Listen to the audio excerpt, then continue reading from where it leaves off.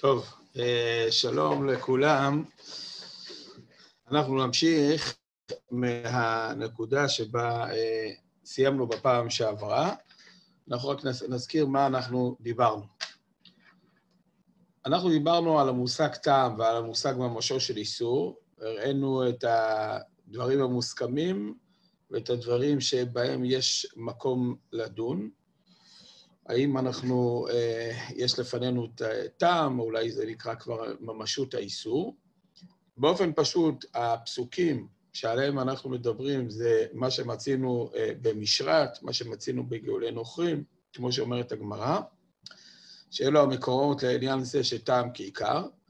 אמרנו שגם לפני החידוש ביחס למצב שאנחנו קוראים לו אה, טעם, אז באופן פשוט צריך להתבונן במה קורה כשיש לנו את הממשות של האיסור כשהיא מעורבת בהיתר. אמרנו, אם יש את הממשות של האיסור שמעורבת בהיתר והאיסור הוא ניכר, זאת אומרת, אני לא יכול להפריד אותו מהתערובת, אני מוכרח לאכול אותו בתוך תערובת, אבל הממשות שלו היא ניכרת, היא ניכרת במראה או ניכרת בטעם. במצב כזה, אין לנו דין ביטול ברוב, וזה פשוט. שדין ביטול ברוב מדבר במצבים שבהם אנחנו אה, עוסקים באיסור שהוא מעורב בהיתר, דהיינו שהוא לא ניכר. אמרנו יותר מזה, וכל זה ביחס לממשו של האיסור, שבאופן פשוט, כאשר יש לנו מציאות של תערובת של איסור עם ההיתר, ומדובר בממשו של האיסור, אנחנו צריכים, אה, ביחס לשאלה של אה, שיעורים, להיות אה, כפופים לכללים הרגילים. זאת אומרת שאם השיעור לעניין חיוב מלקות או כרת זה בכזית, אז ודאי שגם בתערובת אנחנו צריכים כך. וזה המושג שנקרא כזית בכדי אכילת פרס, כמו שהסברנו פעם שעברה, וכשיש לנו בפחות מכזית בכדי אכילת פרס, זאת אומרת שגם אם אדם יאכל פרס, הוא יאכל רק פחות מכזית, אז פה אמרנו לכאורה שהעניין תלוי בעניין חצי שיעור, האם אסור מהתורה או לא, אבל הזכרנו את זה שגם אם חצי שיעור אסור מן התורה, יכול להיות שהחידוש הזה קיים כאשר החצי שיעור נאכל בפני עצמו. אבל אם הוא נאכל בתוך תערובת, יכול להיות שפה שיש תרתי, כלומר זה גם חצי שיעור, וגם זה נאכל כשזה מעורב, אז אין לנו את החידוש של חצי שיעור אסור מן התורה, ובזה יש באופן פשוט מחלוקת בין רבותינו הראשונים וגם באחרונים. עד כאן ביחס לממשו של האיסור. עכשיו נעבור ביחס למציאות של טעם. אמרנו, טעם זה, זה מין אה, חומר שנפלט מגוף האיסור, והוא מעורב בדבר אחר, ואמרנו, פשטות, קודם כל צריך לדון מה המעמד של הטעם מצד עצמו, האם הטעם הוא כמו ממשו של האיסור, ואחר כך לדון מה קורה לטעם כאשר הוא מעורב בדבר אחר. עכשיו בואו נראה מספר אפשרויות שאנחנו יכולים להתבונן בהן כבר עוד לפני מה שאנחנו נראה מפסוקי התורה. יש אפשרות, זאת האפשרות הראשונה שאנחנו נציע, שהטעם בפני עצמו, יכול להיות שהוא אסור. כלומר, לו לא יצויר שאנחנו נצליח להוציא את הטעם מגוף האיסור, ונניח לאכול אותו בפני עצמו, נניח שיהיה לנו איזושהי מציאות כזאת, אז יכול להיות שהטעם בהקשר הזה הוא כמו גוף האיסור, וזה פשוט מסברה. אלא מה? יכול להיות שכשהטעם הוא מעורב, כשיש פה תרתי לרעותה, זה גם טעם בעלמא וגם כשהוא מעורב, למרות שהוא ניכר, למרות שהוא ניכר, אבל כיוון שמדובר בטעם, בעלמא, וגם מעורב, יכול להיות שפה כבר אנחנו לא נדון אותו כמו uh, ממשו של האיסור. וכי אגבנה, אנחנו היינו אומרים מסברה שזה מותר. טוב, עכשיו, לפי זה יצא שאם זה נקודת המוצא, שמה החידוש של טעם כעיקר, אז אפשר לומר שהחידוש של טעם כעיקר זה בדיוק בנקודה הזאתי. זאת אומרת, שגם כשהטעם הוא מעורב, אנחנו דנים אותו כמו ממשו של האיסור. זאת אומרת, כיוון שהוא ניכר, אז הוא לא בטל. זו אפשרות אחת. אפשרות שנייה, זה לומר שגם לפני הדין, החידוש שנלמד מהפסוקים, טעם בפני עצמו הוא אסור, וגם כאשר הוא מעורב, כיוון שהוא ניכר, אז הוא לא מתבטל, ולפי זה, לפי זה, גם לפני גזירת הכתוב של טעם כעיקר, הייתי יודע שהטעם כמו ממשו של האיסור ממש, ככה כמו שאמרנו. אז אה, מה החידוש בדין של אה, טעם כעיקר? אז לכאורה, אנחנו נהיה מוכרחים לומר שהחידוש הוא שבמציאות של טעם, של איסור שנבלע בהיתר, אז גם ההיתר הוא הפך להיות כמו גוף האיסור. זאת אומרת, אני רוצה להסביר את החשבון, זה מוכרח. אם הטעם, עוד לפני שהוא יתערב בהיתר, טעם בפני עצמו, כמו שאמרנו, אני רואה אותו כמו גוף האיסור, וזה בלי חידוש, זה פשוט, שטעם הוא כמו גוף האיסור. טעם שיצא מגוף האיסור הוא כמו גוף האיסור. אז אני יודע את זה כבר. בצד, בצד ההגדרה שלנו הפשוטה, מסברה. וגם אחרי שהוא מעורב, המציאות שלו לא מתבטלת. גם אחרי שהוא מעורב, המציאות שלו לא מתבטלת. וזה גם פשוט מסברה. זאת אומרת, לא כמו הדרך הראשונה, שאחרי שהוא יתערב, אז יש תרתי לרעותא, אז המציאות תתבט... אז, אז הוא נחשב כמו מבוטל. אלא המציאות שלו לא מתבטלת. אז מה אני צריך את החידוש של טעם כעיקר? הרי עכשיו אני אהיה בדיוק כמו תערובת של ממשו של האיסור, שיתערב בהיתר, שהוא לא מתבטל כיוון שהוא ניכר. תעשה את החשבון, כסאי נכדי אכילת פרס, פחות מכאן זה נכדי אכילת פרס. אז מה שאנחנו נצטרך לומר, שבמצב של טעם, אז התורה חידשה שההתר הפך להיות איסור. דווקא מינה, שאם הוא יאכל כזית עכשיו מהתערובת, הוא כבר יהיה נחשב כמו אוכל את האיסור. לאו דווקא כזית בכדי אכילת פרס, שזה מה שהדין ביחס לממשו של האיסור. זה דבר מעניין, אנחנו יותר נרחיב בזה בהמשך, שכאשר יש לנו את ממשו של האיסור לצד ממשו של ההיתר, והם מעורבים ואני לא יכול להפריד אותם, וניכר האיסור, אז אני צריך כזית בכדי אכילת פרס. אבל כאשר יש לנו את טעמו של האיסור, שהוא מתמזג עם הממשו של ההיתר, אז במצב כזה, ממשו של ההיתר הפך להיות כמו האיסור. טוב, זו אפשרות שנייה. אפשרות שלישית זה לומר שלפני שחידשה התורה טעם כעיקר, הייתי אומר שהטעם הנפלט מן האיסור זה לא כמו גוף האיסור. כן, אנחנו מוצאים איזה מין סימוכין לכאלו סברות. הגמרא אומרת במסכת אה, ברכות ובעוד כמה מקומות, שאם סחטו פרי, אז המיץ שיוצא מן הפרי, חוץ מזיתים וענבים, זה זע בעלמא. כי אנחנו לא מתייחסים לזה כגוף הפרי. אז אולי גם טעם שהתמצא מן האיסור, מהאיסור עצמו, מגוף האיסור, יכול להיות שאין לו דין כמו האיסור. זה לא הממשות של האיסור. וזה מסברה, לולא הדין של טעם כעיקר. ואז יכול להיות שמה שחידשה תורה זה שהטעם הוא כמו העיקר.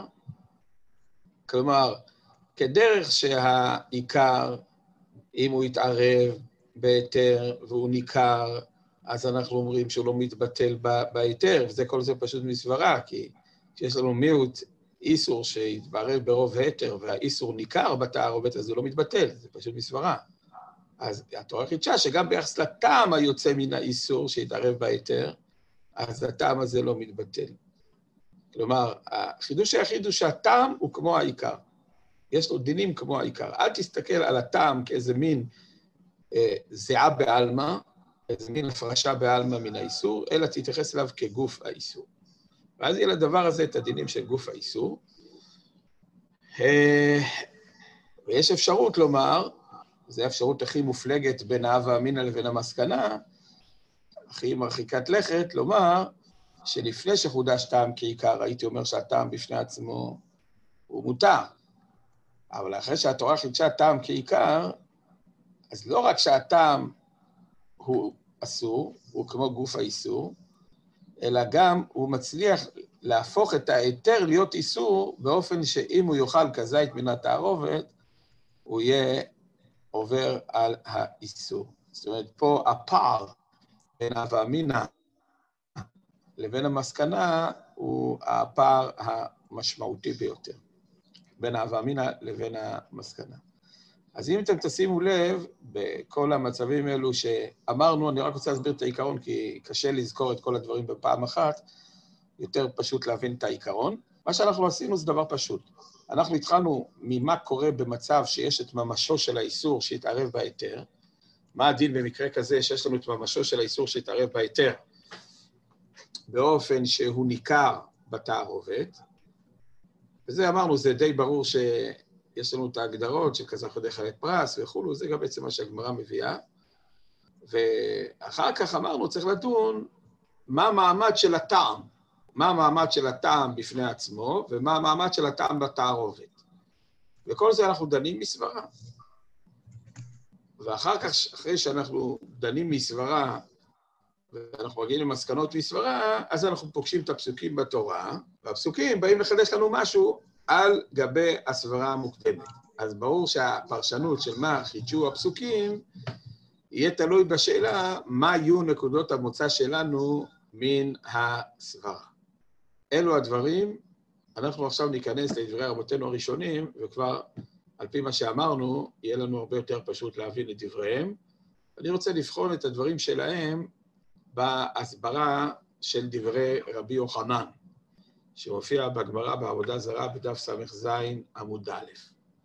שם אני חושב שההבחנות המשמעותיות ביותר במושגים שדיברנו אה, קיימות בסוגיית הגמרא. אז בואו נראה את הדברים, אז נראה כך.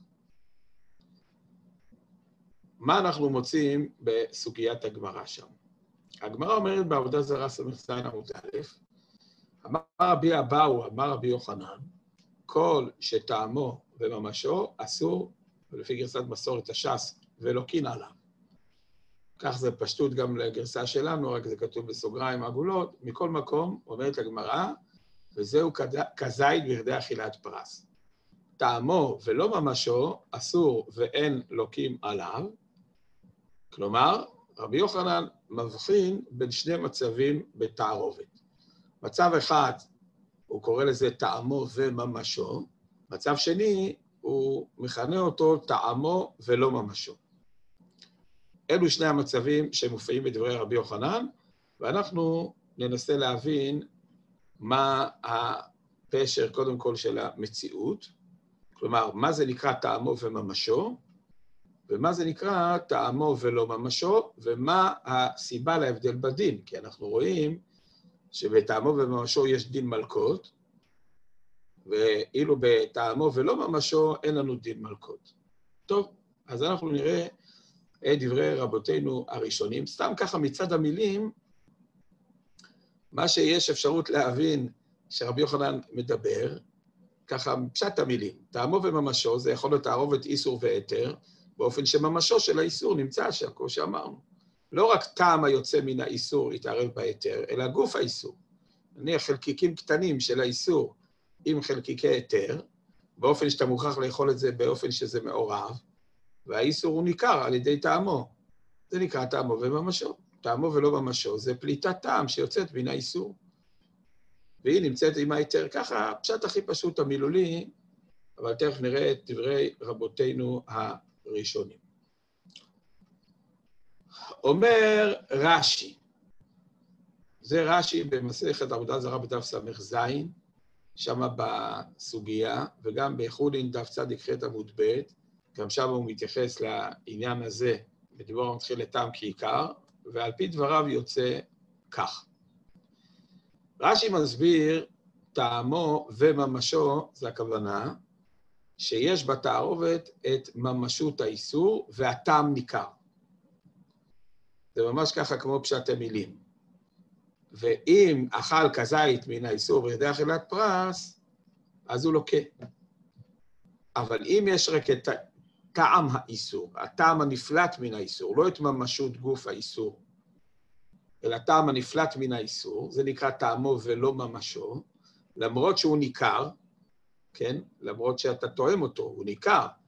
בכל אופן, הוא איננו אסור מן התורה. מה שכתוב אסור ואין לוקים עליו, אומר רש"י, מן התורה זה בטל ברוב, אה, אבל מדרבנן, מדרבנן יש פה אה, איסור. כן, כך רש"י מבדיל בין שני המצבים הללו. עכשיו, לפי מה שרש"י מסביר, יוצא שאם יש לנו גם את ממשות האיסור, זה שרש"י הסביר כמו ההסבר הפשוט במילים של רבי יוחנן, יוצא שאם יש לנו את אה, ממשות האיסור שהתערבה בהיתר, אז אמר לנו רש"י, פה, אם יש כזית בכתב אחרת פרס, אז אתה תלקה. מה המקור לדבר הזה? אז באופן פשוט, זה מסברה. אם נסתכל שם בדברי רש"י, רש"י לא מביא שום מקור לדבר הזה. זה מסברה, וזה ממש מתאים למה שאמרנו, שאם יהיה לנו מציאות של תערובת, איסור בהיתר, באופן שממשו של האיסור יהיה מעורב בהיתר, באופן ש... זה תערובת, זאת אומרת, אי אפשר להפריד את האיסור מן ההיתר, אבל זה ממשו של האיסור שמעורב בהיתר. כמו שדיברנו בפעם הקודמת על המושג ממש וטעם. אני לא רוצה להיכנס להבחנות האלה, כי כמו שראינו, זה, יש מצבים לא תמיד ברורים האם זה ממשו, האם זה טעמו, אבל הבנו את הכיוון של הדיונים ביחס לעניין הזה. אבל אם אין לנו מציאות שאנחנו נחליט שזה נקרא ממשו של האיסור, נניח חלקיקים קטנים, זה ממשו של האיסור, זה מסברה. וזה מצוין על פי מה שאמרנו. זה בדיוק מה שאמרנו, שמצד הסברה הפשוטה, בממשו של האיסור, ברגע שהוא יהיה ניכר, אז הוא לא יתבטל, ואז אנחנו נעשה את החשבונות כזית ורתח ליד פרס, אז זה ממש כמו לאכול את האיסור בשיעור אה, כזית, ולכן יהיה בזה דין מלכות. עכשיו, רש"י אה, מתייחס לשאלה, למצב השני. אם זה רק טעמו ולא ממשו.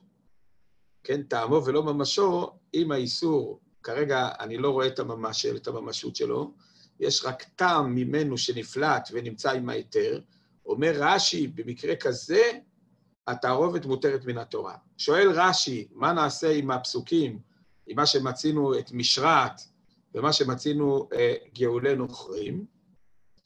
הגמרא במסכת תכנין דף שם היא הביאה מקורות. אומר רש"י שרבי יוחנן סבור שלא לומדים משם, לא ממשרת ולא מגאולי נוכרים. למה? אז אפשרות אחת רש"י אומר, כי זה שני כתובים הבאים כאחד, שני כתובים כאחד הם לא מלמדים, אבל לפי זה יוצא שבנזיר ובגאולי נוכרים, בנזיר ובגאולי נוכרים, יהיה לנו את החידוש שאנחנו אומרים שטעם כעיקר, רק לא לומדים משם לכל התורה, זה שיטת רבי יוחנן. לא כמו פשט הסוגיה במסכת פסחים. הגמרא בסרט פסחים אה, נראה ממנה שלומדים משם לכל התורה. ואפשרות נוספת, רש"י אומר שרבי יוחנן בכלל לומד את העניינים בצורה אחרת, משרת זה יותר מצטרף לאיסור, כמו שהגמרא שם מביאה בשיטת רבי עקיבא, וגיולי נוכחים בכלל זה חידוש, כי זה טעם לפגם. רש"י בעצמו אומר את העניינים האלה. עכשיו, אנחנו רוצים להתקדם. על פי הדברים האלה, על פי הדברים האלה, אני רוצה להעיר הערה נוספת. רש"י אומר שאם יש לנו מציאות של טעמו של האיסור, לא ממשו, הטעם הנפלט מן האיסור שהתערב בהיתר, אמר לנו רש"י שמן התורה זה בטל ברוב. זה לא כמו ממשו של האיסור. מן התורה זה בטל ברוב. עכשיו אני רוצה לשאול, למה לנו לביטול ברוב? הרי זה רק טעם בלבד. למה לנו לביטול ברוב? עכשיו, מה תאמרו? יש לנו מקורות בפסוקים שטעם כעיקר, אבל רש"י הסביר בשיטת רבי יוחנן שאת הפסוקים האלו לא דורש לעניין טעם כעיקר. אז מאיפה רבי יוחנן יודע שטעם שנפלט מן האיסור שהתערב בהיתר, אני צריך את הביטול ברוב? מי אמר בכלל שטעם שנפלט ממנו איסור הוא אסור? מפה, כן, מוכח שהטעם בפני עצמו, טעם בפני עצמו, לא יצויר, לא יצויר. יכול להיות שאין במציאות אפשרות כזאת, אבל אם נניח נמצא אז עכשיו איזשהו ציור, שאנחנו מצליחים להפליט את הטעם של האיסור מגוף האיסור, ושאדם יאכל אותו בפני עצמו, זה פשוט מסברה שזה אסור. מוכנים להגיד ככה. ככה יוצא על פי חשבון של רש"י. רק מה? כאשר הוא מעורב בהיתר, במקרה כזה, ברור שהוא מתבטל ברוב. עכשיו, מאיפה זה ברור שהוא מתבטל ברוב? זה, בור... זה פשוט מסברה. כך צריך לומר. הרי לרבי יוחנן אה, אין לו מקורות בהקשר הזה. כל המקורות שמצינו בחז"ל, רבי יוחנן דורש אותם לעניינים אחרים, אבל לא לומדים מפה למציאות הזאת שנקראת טעם. אז יוצא, על פי הדברים האלה, שרש"י, כן, אה, יסביר את העניינים כמו האפשרות שהצגנו מקודם, שגם לולי גזירת הכתוב של טעם כעיקר, הטעם בפני עצמו אסור, אבל כאשר הוא נמצא בתערובת, כאשר הוא נמצא בתערובת, למרות שהוא ניכר, למרות שהוא ניכר, פה ברור שהוא מתבטל. ויש הבדל בין טעמו של האיסור לממשו של האיסור. בממשו של האיסור, אף על פי שהוא בתערובת, הוא לא מתבטל, כיוון שהוא ניכר. אבל בטעמו של האיסור, שיש פה תרתי לראותה, זה גם טעמו וגם הוא מעורב, פה, ברוב היתר, פה פשוט מסברה שהוא מתבטל ברוב. כן? זה חידוש גדול, אבל ככה אני חושב שאנחנו נצטרך לומר לפי שיטת רש"י. כן. יש פה אה, הערה, תכף נתייחס להערות האלה. בממשות היתר, כלומר, הם לא מאותו עניין כדי להגדיר רוב ומיעוט. לא כל כך מבין למה הם לא מאותו עניין כדי להגדיר רוב ומיעוט, מבחינה כמותית. זאת אומרת, כשאני מסתכל על המציאות, אני אומר, ברור לי, כשאני בוחן יחסים של רוב כמותי ומיעוט, אז אני אומר, זה מיעוט וזה רוב. הם כן מאותו עניין.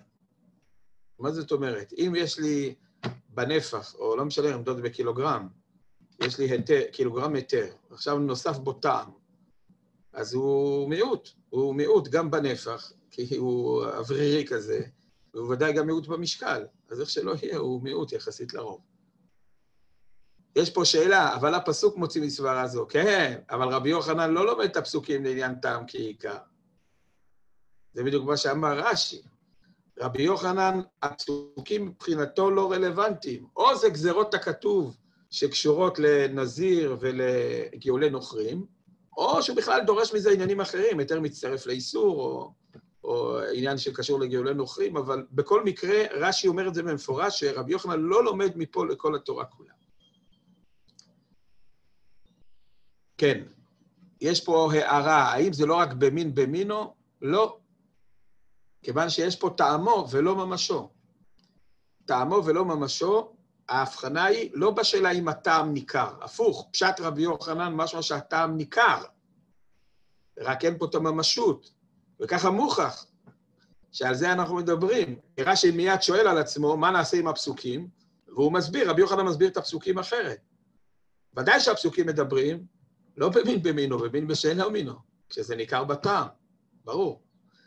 הקיצור, אם אנחנו מסכמים, על פי ההקדמה שעשינו, הדברים של רש"י ממש ממש מובנים, הוא בעצם הולך לפי המהלך הראשון שדיברנו עליו, זאת אומרת, לומר שהטעם בפני עצמו הוא אסור גם בלי קשר לגזרת הכתוב, אבל ברור מסברה שבתערובת לא יהיה לו דין כמו הממשות, כיוון שזה תרתי לרעותה, זה גם טעם בעלמא וגם מעורב ברוב.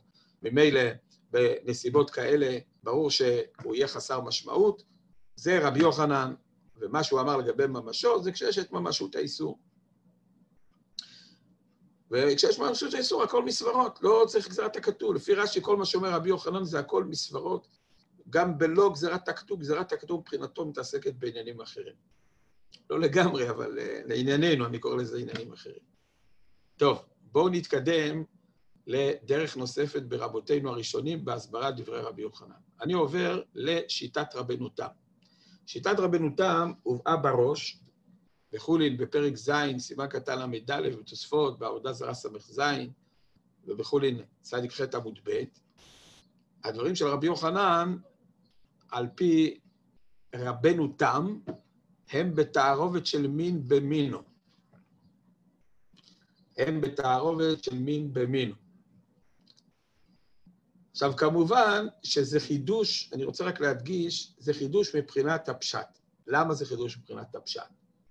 רבנו תם הוא ידוע בחדשנותו, אבל אה, בלי קשר לזה, אני רוצה קודם כל להסביר למה גם פה זה חידוש מבחינת הפשט. כשאתה לומד דברי רבי יוחנן, שהוא מדבר איתך על טעמו וממשו, טעמו ולא ממשו, זה די ברור שרבי יוחנן מדבר על מצב שהטעם הוא ניכר. זה די ברור. כשאתה קורא את הפשט של הדברים של רבי יוחנן, טעמו ולא ממשו. וההבחנה הפשוטה בדברים של רבי יוחנן זה בין מצב שיש ממשות לבין מצב שאין את הממשות. ממש ממש כמו רש"י.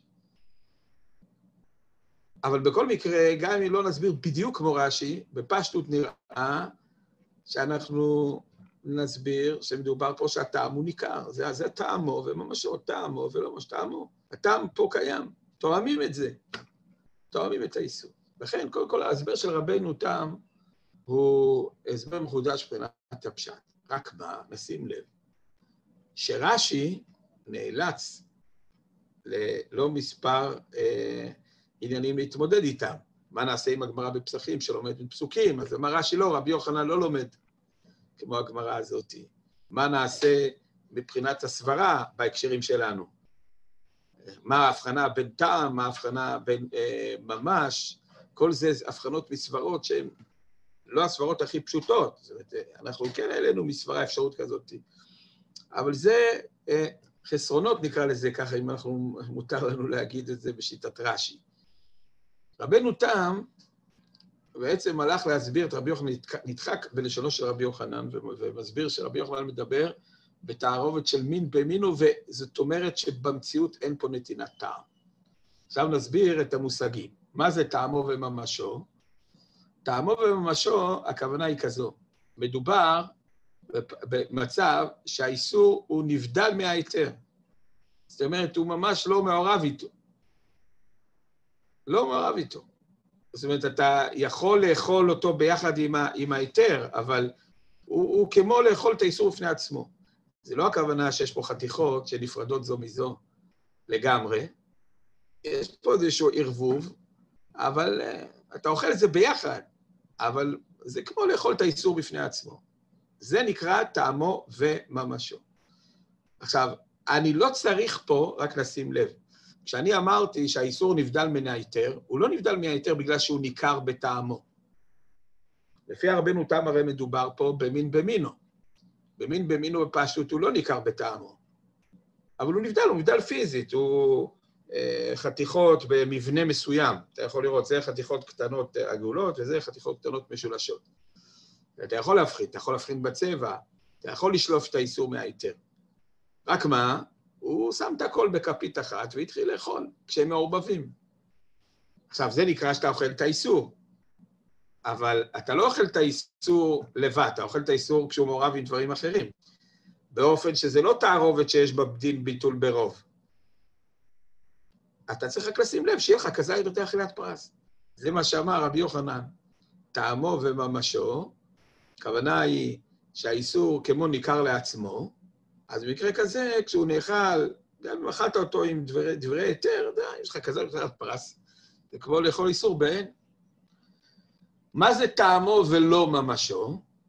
טעמו ולא ממשו, הכוונה שלא ניתן להבדיל בין האיסור להיתר. כלומר, דואר שוב במין במינו, שלא ניתן להבדיל את האיסור מן ההיתר, אז במין במינו, כשהרוב הוא מן ההיתר, אז, ואני לא יכול, כן, זה לא שהוא ניכר, כן, נבדל בצורה, נבדל בצבע, אז זה נקרא לאכול ממש אה, תערובת. אז במקרה כזה מהתורה הוא בטל ברוב. כיוון שהוא בטל ברוב אה, מהתורה, אז אה, לא לוקין עליו. זה מה שאמר רבי יוחנן. זה ממש דין ביטול ברוב, חד בתרי. הרי אין פה בכלל מושג של נתינת טעם, כי מדובר במין במינו. טוב, עכשיו מה הרוויח רבנו תם? לפי זה, דברי רבי יוחנן, הם בעצם לא עוסקים בכלל בנידון בסוגיה של הגמרא במסכת פסחים. כי לדברי רבי יוחנן, מדובר בכלל במצב שאין פה טעם של איסור שמעורב בהתר, באופן שניכר טעם האיסור. זה תערובת הרי מין במינו. מה יהיה במין בשאינו מינו? במין בשאינו מינו, כשהאיסור נותן טעם בתערובת, אז אומר הראש בשם רבנו תם, הראש ככה יותר, אה, יותר הרחיב, יותר פירט בדברי רבנו תם, למרות שזה רק טעם האיסור, ולא ממשו של האיסור, כמו שאמרנו בהגדרת המציאות, דיברנו בהתחלה, למרות שלפי כל ההבחנות יש לפנינו רק את טעם האיסור, ולא את משות האיסור, אם הוא אכל כזית מהתערובת, אז הוא לוקה. אם הוא אכל כזית מהתערובת, אז הוא לוקה. אומר הראש, אני אצטט את לשונו, מה הסברה בזה? הרי יוצא שהוא בעצם אכל איס, אתר, שמעורב בו איסור, באופן שהרוב ואתר, אז גם נגיד טעם כעיקר, טעם כעיקר, אבל איך ילקה על כזית מהתערובת? אומר הראש, דכיוון שנתן האיסור, טעם באתר, נהפך כולו להיות איסור. ולוקים עליו בכזית כאילו היה כולו איסור. כן? זאת אומרת, הראש אומר בשיטת רבנו תם, והראש, דרך אגב, כן, הוא לא הזכיר בהקשר הזה, בדעת רבנו תם, שמדובר בכזית בכדי אכילת פרס, לא כמו שיטות ראשונים אחרות שאנחנו נראה בהמשך, משמע שגם אם אין כזית בכדי אכילת פרס, זאת אומרת, אין פה כזית, נעשה חשבון, נניח שחלב שנמחה בתוך הגריסים, נניח שזה כבר נקרא טעם, זה לא נקרא ממשו, כי אם ממשו נבלע פה, הוא כבר לא קיים. אני יכול לחשב כזית בכדי אכילת פרס, גם במצב של טעם, נניח בנסיבות האלה. רבנו תם לא מצריך את זה. רבנו תם אומר, מבחינתי, זה שהאיסור, זה שהאתר בלוע בטעם האיסור, זה מבחינתי, כרגע האתר הפך להיות איסור, כן? כמו שהוא אמר. כאילו היה כולו איסור. עכשיו, בואו נראה כמו מה, כמו איזושהי דרך במה שהצענו, הבין רבנו תם. רבנו תם יכול להבין, אם אתם זוכרים, את, אחת, את ארבעת הדרכים שהצגנו מקודם לכן, אז בואו נראה. הוא יכול להסביר שגם, כמו הדרך השנייה שהצגנו, שגם לפני הדין של טעם כעיקר, ידענו שהטעם בפני עצמו אסור, הטעם בפני עצמו, הכוונה שנפלט מן האיסור, הוא אסור, וגם כשהוא בתערובת, כיוון שהוא ניכר, אז הוא אסור, אז על כוח מה חידשה תורה. הרי בכזית בידי אכילת פרס, אני כבר יודע שיהיה פה איסור תורה כמו ממשו. על כוח התורה חידשה שהאתר הפך להיות איסור. צריך, צריך להבין את ההיגיון בדבר הזה, אבל... או כמו האפשרות האחרונה שאמרנו, שיש פער עצום, כלומר, שלפני שהפסוק חידש, הייתי אומר שהטעם אפילו בפני עצמו, לא יצויר שיכלתי לאכול אותו, הוא היה מותר. אבל אחרי שהתורה חידשה טעם כעיקר, אז הפשט הוא שההיתר הפך להיות איסור. והשאלה שאנחנו רוצים לשאול, זה מבחינת המקורות ואיך הוא הבין את הנקודות מוצא הקודמים למקורות. קודם כל, לפי רבנו תם רק נדגיש, רבי יוחנן יכול להסכים לכל האמור בגמרא פסחים ולמה שמצאנו את המושג טעם כעיקר. מה שעדיין צריך להבין זה את הסברה בדברים. מה הסברה שכאשר יש לנו איסור שמעורב בהיתר, טעם של איסור שמעורב בהיתר, ועכשיו אני תואם את התערובת הזאת, אני אוכל כזית מהתערובת, למרות שאין כזית בכדי אכילת פרס איסור. אני אוכל בטוח פחות מכזית מטעם האיסור שמעורב פה, ואני מגדיר שזה נקרא כמו לאכול את האיסור, כן? ואפילו לוקין עליו. הראש אומר בשעת רבנו, תם לוקין עליו. מה הסברה בזה? אני אמחיש את זה. בואו נניח שיש לנו חלב שהתערבב עם גריסים, באופן שהוא נתן טעם בגריסים. לפי רבנו תם זה לא משנה מה היחסים בכמויות. הרי לא צריך כזה בכדי אכילת פרס. העיקר שהוא נותן טעם, אתה טועם את הגריסים, אתה טועם גם כן את החלב. למה לקרוא לגריסים האלו שיש בהם טעם חלב חלב? הרי גם יש בהם טעם גריסים, זה ודאי. אם היו שואלים אותנו מסברה, זאת אומרת, אנחנו בעצם שואלים אחרי החידוש של התורה, מה ההיגיון בחידוש של חידשת תורה? מה בעצם הרעיון שעומד מאחורי החידוש הזה חידשי התורה. שהטעם הוא, הוא, הוא כמו העיקר. זאת אומרת, כשיש לנו את הטעם, זה כאילו העיקר לפנינו, זה, זה הפשט טעם כעיקר, כן? לא שהטעם שווה לעיקר, כן? אם נשים לב, יכול להיות שאם היה מדובר בממשו של האיסור, בממשו של האיסור, שהוא נמצא לצד ההיתר והוא נאכל ביחד איתו, פה רבנו תם יגיד שאני צריך כזית בכדי אכילת פרס, יכול להיות. אבל אם מדובר בטעם של האיסור שנבלע בהיתר, ההיתר הפך להיות איסור. אבל מה הסברה בדבר הזה? זאת אומרת, תגידו, זה גזירת הכתוב, אבל צריך להבין את זה בהקשר הכולל, שלא יהיו לנו לפחות סתירות פנימיות בהלכות האלו של האיסור וההיתר. בעצם השאלה שלנו היא כזאת, הרי כשאני לוקח כזית, אז גם המרקם, כלומר, גם הממשות היא, היא גריסים, וכשאני טועם את הטעם, אני טועם חלב, אבל אני טועם גם גריסים, זה ברור, נכון? כלומר, מי שאוכל גריסים שבלועים בטעם החלב, אז אה, שבלוע בהם טעם החלב, ברור שהוא טועם גם גריסים. זה לא כמו לאכול רק את טעם החלב בפני עצמו. אז, אז מה הפשט בחידוש הזה? אז יש פה מישהו שרוצה להציע, אולי התורה אסרה טעם של מאכל איסור ולא את ממשותו. נפקא מינה במאכל איסור שאין בו טעם כלל. מה זאת אומרת שהתורה לא אסרה את ממשותו? ברור שהתורה אסרה את ממשות האיסור. ברור, הרי ודאי שאם אדם אוכל חלב, את הממשות של החלב הוא עובר על איסור. אבל, אבל איך יכול להיות, אחרי כל מה שלא נאמר, איך יכול להיות שהטעם קיבל עד כדי כך מעמד? אז מה שנראה שהפשט הוא כך, כך לכאורה צריך לומר, שהטעם בענייני מאכלים הוא עיקר הדבר. זאת אומרת, מהות המאכל, במאכל עצמו, הייתי אומר, יש שני דברים. כשאנחנו אוכלים איזשהו משהו. יש לנו את, את גוף המאכל, כן, נקרא לזה את ממשו של המאכל, ויש לנו את הטעם של המאכל.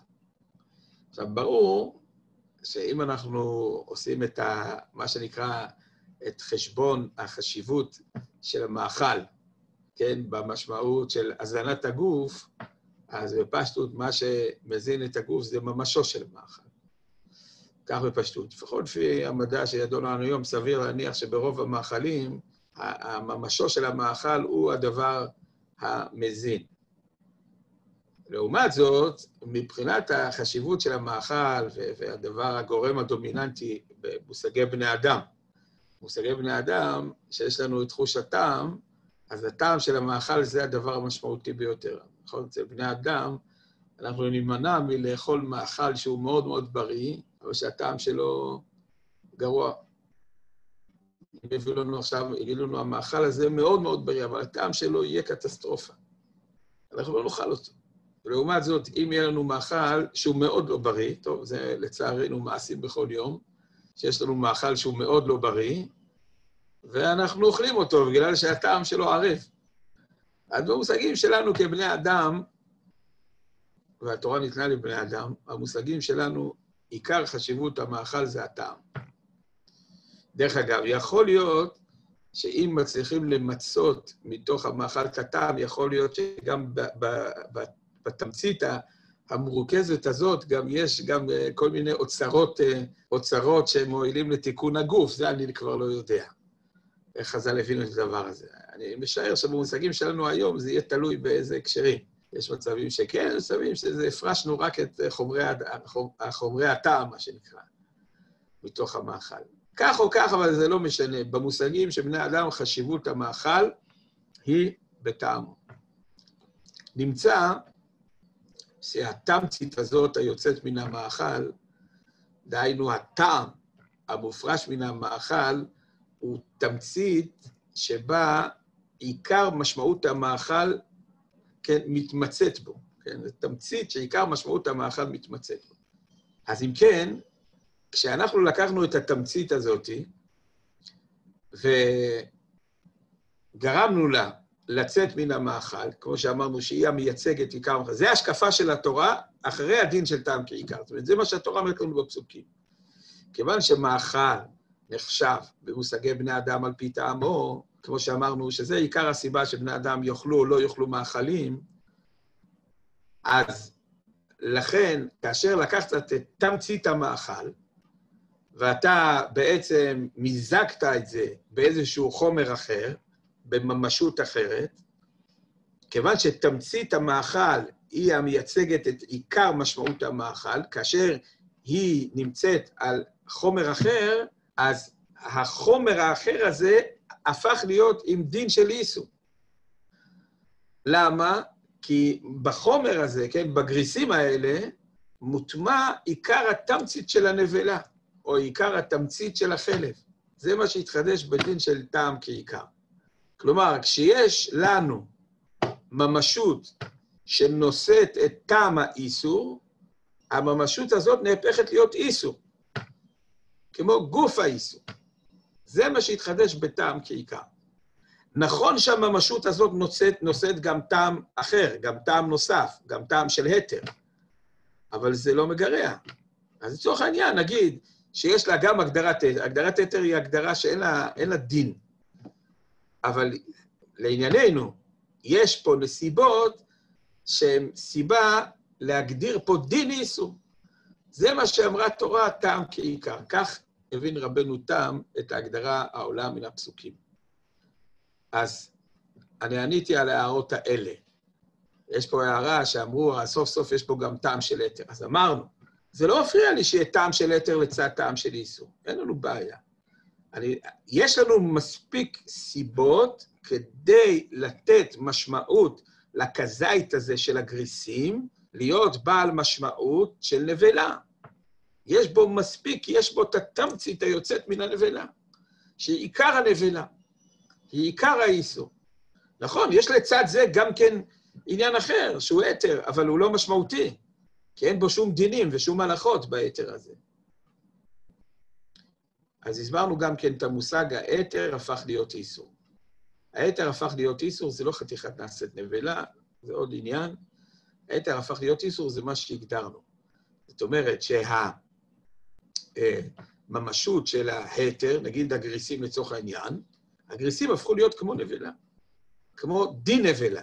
יותר נראה לי, יותר נכון שהתורה נתנה להם דין נבלה, כן? זה לא כמו ממשות הנבלה. טוב, זה ההגדרות העולות לפי רבנו תם אחרי הפסוקים. מה הוא חשב לפני הפסוקים? אז פה יכול להיות שתי אפשרויות שאמרנו, האפשרות השנייה או האפשרות האחרונה שהצגנו. שיהיה החידוש הגדול ביותר. כן, אה, הלאה. אנחנו מתקדמים לעוד אה, שיטה ברבותינו הראשונים. פה, יש פה שאלה. החומר של הטעם חייב לצאת מן האיסור, או שאפשר ליצור חומר טעם כזה בטעם של האיסור? כן, נראה לי ברור שהוא צריך לצאת מן האיסור. זאת אומרת, אם במעבדה יצליחו לייצר טעם מדויק, טעם מדויק של, אה, אה, כמו הטעם של אה, חלב, אבל הוא לא יצא מחלב, הוא לא יהיה מייצג את החלב. צריך טעם שמתמצא מגוף האיסור. אז אני יכול לראות, בגלל הסברות האלו שאמר, זה העניין, זה הרעיון של מה שאמרה תורה, אחרי כל מה שהסברנו, שזה עיקר העניין של מאכל, שזה הטעם היוצא ממנו וכו'. טוב, הלאה. אנחנו עוברים לדרך נוספת ברבותינו הראשונים, רבנו חיים. רבנו חיים מובא בראש בחולין פ"ז ל"א, וגם התוספות, גם הזכירו. אני רוצה להתייחס לאיך שהראש הציג את הדברים, אז יוצא ככה. אנחנו חוזרים לרבי יוחנן, להבין מה זה טעמו וממשו, מה זה טעמו ולא ממשו. ברוך אתה.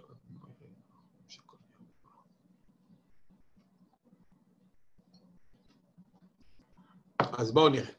טעמו וממשו, לפי רבנו חיים, אז הכוונה היא בתערובת מין בשאינו מינו, לא כמו רבנו תם מין במינו. אמרנו, רבנו תם זה חידוש גדול בלשון של רבי יוחנן. תערובת מין בשאינו מינו. ומה זה ממשו? אז אומר רבנו חיים, מדובר שיש בתערובת כזית בכדי אכילת פרס. זה פשט לשון רבי יוחנן. ולמרות שלא מדובר בממשו של האיסור, אלא רק טעם האיסור, לא כמו רש"י. רש"י הסביר שמדובר בממשו של האיסור שהתערב בהיתר. ממשו של האיסור שהתערב בהיתר. הרבנו חיים אומר, לא, מבחינת המציאות יכול להיות שעכשיו זה כבר טעם. נניח, מדובר פה בחלב שנימוח בתוך הגריסים. אז יכול להיות שבהגדרה זה כבר טעמו, כן? במושגים של רש"י, רש"י אומר, זה כבר נקרא מבחינתי טעמו.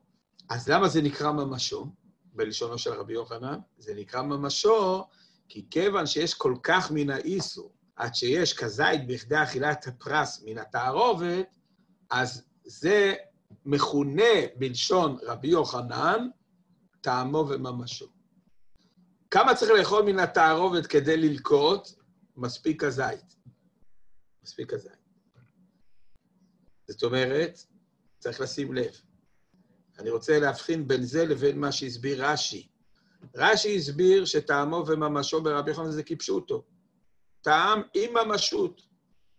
גוף החלב מעורב עם, עם, ה, עם ה... זה באופן, עם הגריסים, באופן שאני לא יכול להפריד, אבל זה לא שזה נימוח וזה לא ניכר וכולו, זה ניכר ממשו ממש. כן, זה, זה המצב הפשוט, כמו שאמרנו, שלא צריך בשבילו פסוקים. הרבנו חיים אומר, לא, מדובר בטעמו. גוף החלב כבר לא לפנים, זה רק טעמו של החלב.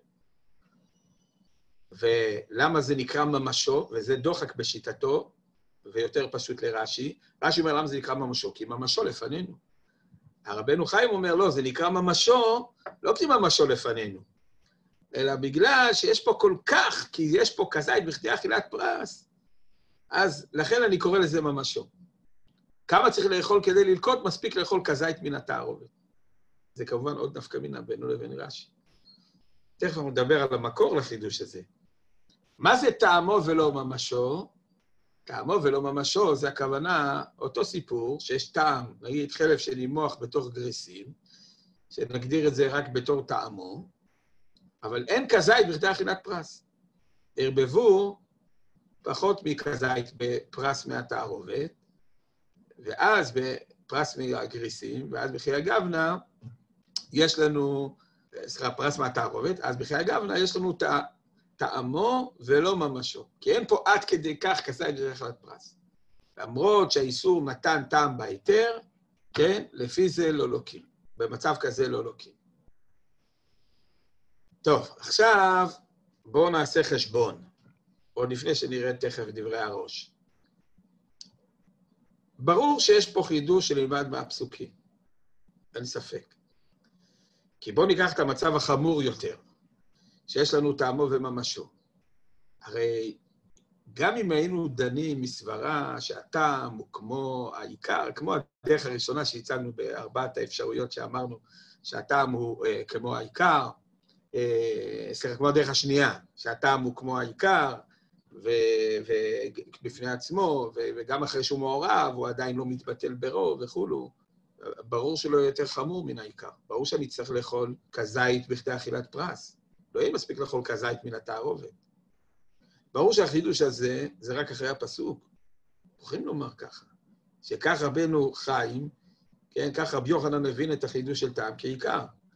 החידוש של התורה בטעם כעיקר, מה שכתוב בסוגיה במסכת פסחים, ועוד מקומות, שילמד בפסוקים, מדבר על תערובת כזו, שיש טעם האיסור שהתערב בהיתר, באופן שבסך הכולל יש כזה בדרך אכילת פרס, גם לתורה חידשה טעם כעיקר. ומה נפקא מינה? שאם תאכל כזית מהתערובת, אתה כבר לוקה. זה חידוש של הפסוק.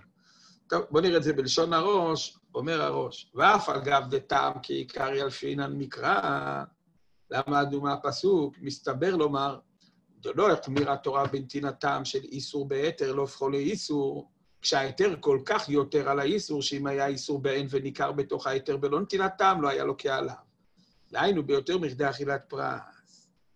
פה בעצם הוא נועץ את ההבדל, מבחינת הסברת הפסוק, בין הרבנו חיים לרבנו תם. הרבנו תם אמר, מבחינתנו התורה חידשה שהטעם הוא יותר מהעיקר. הרי רבנו תם אמר, אני לא עושה חשבונות של כזית בכדי אכילת פרס. הטעם הוא יותר מן העיקר. עד כדי שבעיקר, בממשו, הייתי צריך לאכול את כל הפרס כדי לאכול כזית. פה, גם אפילו אם אין לי כזית דרך הפרס, בכל אופן, בכל אופן, התורה אסרה כזית מהטהור, זה רבנו תם. אז הרבנו חי אומר, תראה, זה לא עד כדי כך. אם כי גם לשיטתו יוצא, כן, שהטעם, הטעם הוא כן יותר חמור מהעיקר. הרי מה היה אם היה לנו נניח את ממשו של האיסור, שהתערב בהיתר, אה, לפני החידוש של טעם כעיקר? ממשו של האיסור שהתערב בהיתר לפני של העיקר. כמה היינו צריכים לאכול מהתערובת כדי ללקוט? לא כזית, צריכים לאכול כזית מתחת לפרס, את כל הפרס, כדי שיהיה נאכל כזית. אז גם רבנו חיים יש חידוש בטעם כעיקר, רק הוא אומר, תראה, אני לא הולך עד כדי כך לחדש חידושים מופלגים. אני צריך שיהיה פה יותר דומיננטיות של האיסור כדי לחדש את החידוש, כן, בסופו של דבר, מעין מה שמחדש אה, רבנו תם. רק הוא, נקרא לזה ככה, מצריך יותר תנאים לחידוש הזה. מצריך יותר תנאים שיותר מקרבים את דין הטעם לדין העיקר. אם כי גם לשיטתו, בטעם יש פה משהו מחודש יחסית למה שמצינו אה, בעיקר. בתערובת, שאין בה כזית בכדי אכילת פרס, אז פה רבנו חיים אומר, במקרה כזה, למרות שיש פה נטילת טעם, הוא לא ילקה. הרבנו תם יאמר, במקרה כזה הוא ילקה. על כזית מתערובת, לא אכפת לי איך חשבונות כזה איך פרס או לא... כן, זה לא הפשט ברבי יוחנן בכלל, לפי דבריו זה במין במינו וכולו. ברגע שזה טעם, לוקח על כזית. הרבנו חי אומר לו, לא, בחיי גם לא, לא ילקה. האם זה אסור מן התורה? כן, אז פה זה, זה תלוי ב, כן, ב, בשאלה מה הייתה נקודת המוצא לפני הפסוק. אם נקודת המוצא לפני הפסוק, לפי רבנו חיים, שהטעם בפני עצמו הוא אסור, רק יש לו דינים כמו הממשות, אז uh, פה בעצם אנחנו נכנסים לשאלה מה קורה כשיש לנו חצי שיעור בתוך, uh, בתוך תערובת. כן, מה קורה כשיש לנו חצי שיעור בתוך תערובת? אבל אם הוא סבור שלולא החידוש של טעם כעיקר, הטעם בפני עצמו היה מותר, הרי בנסיבות כאלו, לפי דבריו, לא התחדש טעם כעיקר. הדין של טעם כעיקר, לפי דבריו, יתחדש רק במצב שיש פה כזית בכדי אכילת פרס. אז יתחדש טעם כעיקר, אבל בנסיבות האלה. אם כן, על פי הדברים האלה, יש לנו נפקא מינה, לשיטת רבנו חיים, בין, אה, במצב של אה, פחות מכזית לכדי אכילת פרס מן הטעם שהתערב בתערובת. הראש מעיר שגם לשיטת רבנו חיים וגם לשיטת רבנו תם יש נפקא מינה גם לקולה. בעניין טעם כעיקר, מה יהיה כשיש לנו עיסת אורז שיש בה טעם דגן? מה קורה בנסיבות כאלה? האם אני, כי אני קר פה טעם הדגן, אתה תואם את האורז, זאת אומרת, זה לא רק טעם של אורז, יש פה טעם של חיטה. האם אני אוכל להגדיר את זה גם כן כחיטה? נפקא מינה, יעשו מזה מצה, אז זה אה, ייחשב כמו אכילת פת, כן? לעניין, לעניין זה שאנחנו אה, מותר, אה, מותרים לצאת את זה חובה בפסח או דבר כזה. וגם מספיק שיאכל כזית מן האורז. כיוון שיש בו טעם חיטה, זה מוגדר כ...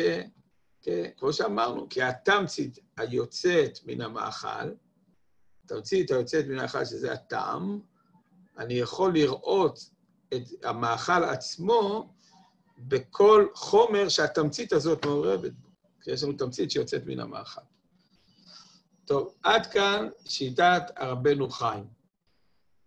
יש לנו עוד שתי דרכים בראשונים, אבל אנחנו לא נספיק בחמש דקות, אני מעדיף לא להכביד יותר מדי, לראות את זה בעזרת השם בנו נדר בפעם הבאה. יש לנו את שיטת הרזה, ובעיקר להבין שיטת הרמב"ם.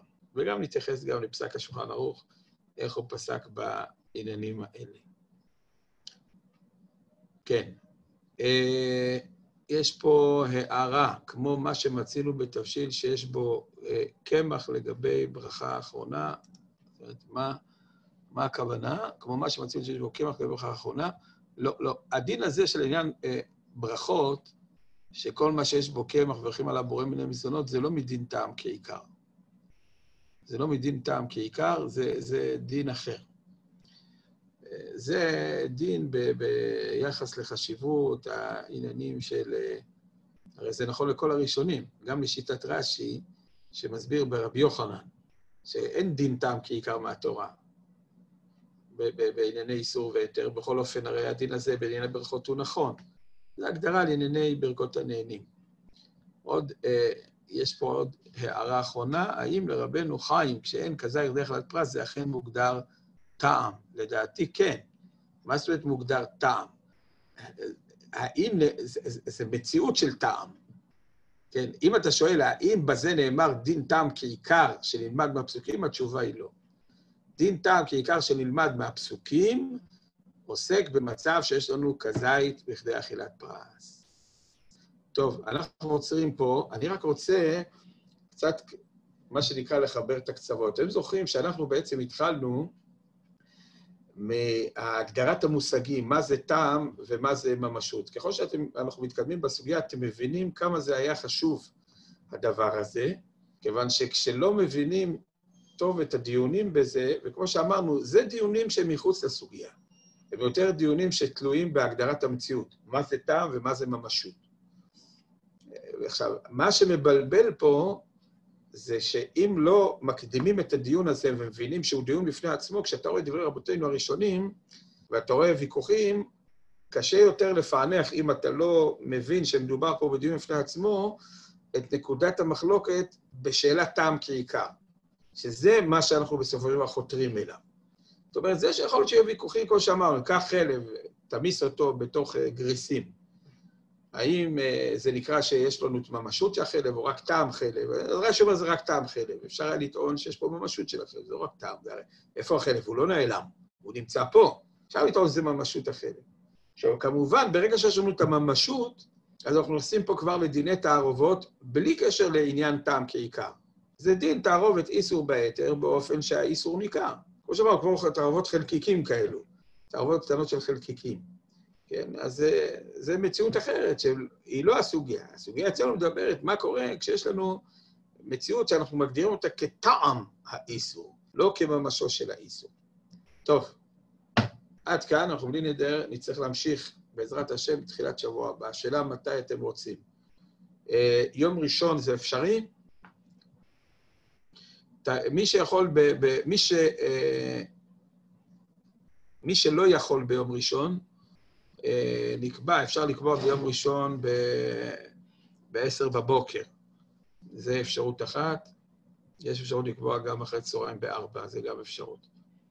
אז בואו נתחיל. ביום ראשון ב-10 בבוקר, אה, מי, מי שלא יכול, שיכתוב שהוא לא יכול. אז כולם יכולים ביום ראשון ב-10 בבוקר? בכללי אתם מעדיפים אחרי צהריים, אם אתם רוצים אחרי צהריים, אז לא אכפת לי להעביר את זה לארבע. טוב, אני רואה רק אחד, הוא לא יכול. בספק, תלוי אם המעונות יחזרו, לא יחזרו. אחרי צהריים, רק אחרי צהריים, וכולו וכולו וכולו. טוב, אז אנחנו נעשה אחרי צהריים, אני, אני רואה כבר שיש פה כמות ניכרת של נעשה צהריים. כמה לא יכולים אחרי צהריים בארבע? כולם יכולים אחרי צהריים בארבע בראשון. נעשה אחרי צהריים בארבע. אז ראשון אחרי צהריים בארבע, בסדר? בלי נדר. טוב, עכשיו לגבי הסוגיה הבאה, אחרי הסוגיה הזאתי, אה, אז אני אשלח ל... אני אשלח לכם כבר, ת, ת, תשלחו ביניכם, אני צריך לחשוב מה כדאי, מה כדאי לפני מה. טוב, אז קבענו, בלי נדר ביום ראשון, אחרי צהריים, בשעה אה, ארבע. אה, אה, אה, זה קצת בעייתי בשבילי. אני צריך לסיים בעשרה לחמש. בסדר, אין לנו כל כך הרבה, יש לנו שתי דרכים פה וקצת שולחן ערוך. טוב, אני צריך לזכור לסיים בעשרה לחמש, כי בחמש אני צריך להיות באיזשהו מקום. טוב, עד כאן. אז שלום וכל טוב. שבת שלום וכל טוב.